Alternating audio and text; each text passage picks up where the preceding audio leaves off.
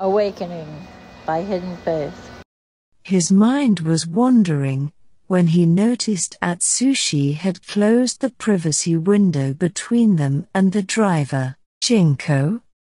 He said, looking at him again. You don't need to hold back, he said, moving in closer. I can take it. No, Akutagawa said softly, pushing him away. I can't do that. He met Atsushi's gaze, his heart heavy with the conflicting desires within him. I can't ask that of you. You didn't ask, I volunteered. I can't risk losing control, Akutagawa uttered, fighting the turmoil within. Atsushi placed a hand softly on his cheek. You won't. He whispered. The tiger will heal me. You know what Yoshino said. He grabbed Atsushi's hand and lowered it to his lap.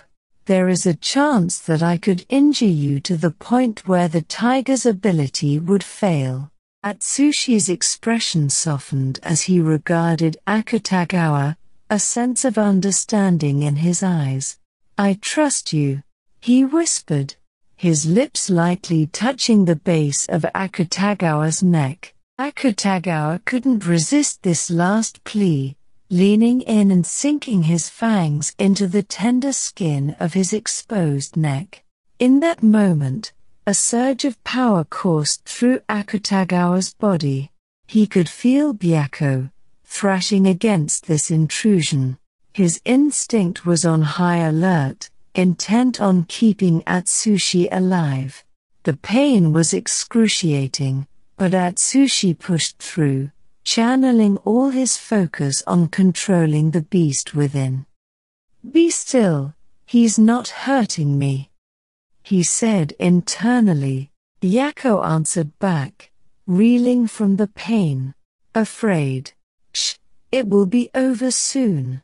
Just be still, stop fighting it. And with that, the tiger was silent once again. The pain receded as he felt Akutagawa's fangs as they retracted.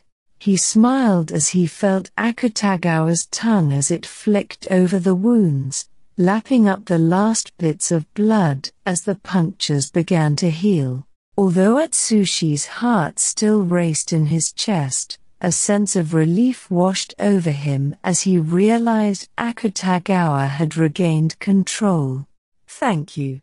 Akutagawa said, his lips still moving on the other's skin. Anytime, he said with a smile. Akutagawa nodded, feeling a renewed sense of purpose as he held Atsushi in his arms.